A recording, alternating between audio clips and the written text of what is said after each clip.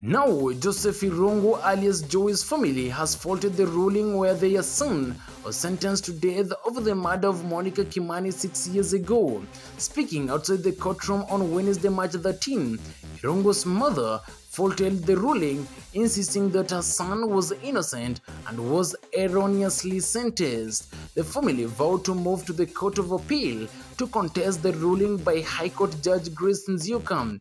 The mother exuded confidence that justice will eventually be served, and her son insisted that Jowie was innocent of Monica's murder. The mother said this in a quote, I believe my son is innocent.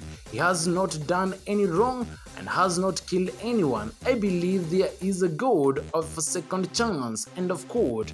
Jowie's legal team accused the judge making a ruling simply to please members of the public.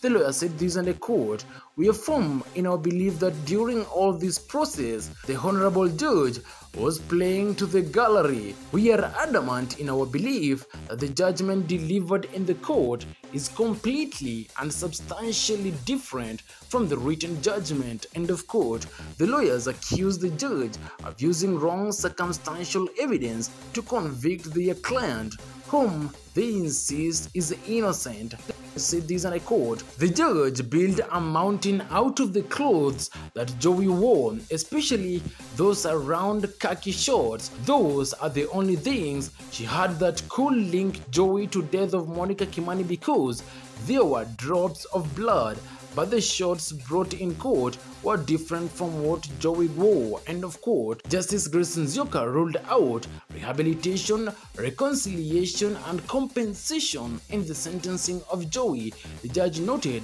that even the defense team acknowledged that Monica Kimani was killed in a brutal manner. The investigating officer described Joey as extremely dangerous despite softener perception by the clergy and administration.